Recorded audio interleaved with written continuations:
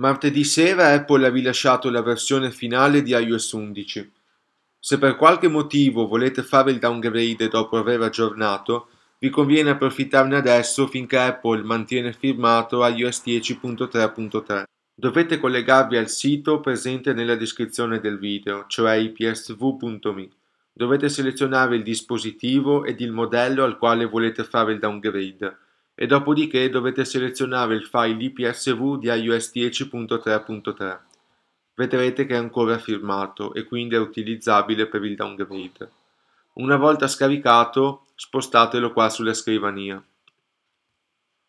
Bisogna semplicemente tenere premuto il tasto d'accensione più il tasto Home per 10 secondi. Una volta trascorsi i 10 secondi bisogna mollare il tasto d'accensione, ma continuare a tenere premuto il tasto Home fino a quando iTunes non ci mostra un messaggio dove ci avvisa del fatto che è stato rilevato un dispositivo in modalità di recupero. A quel punto potete anche mollare il tasto Home.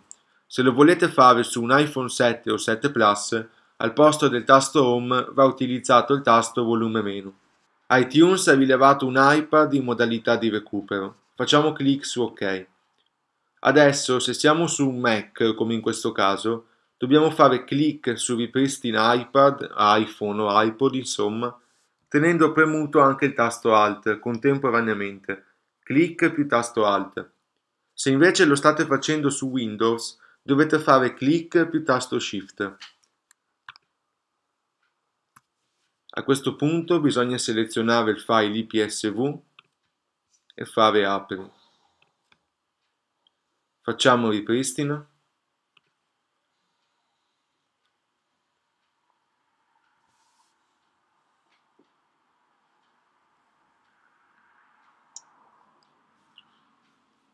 Adesso bisogna solo attendere che tutto il processo vada a fine.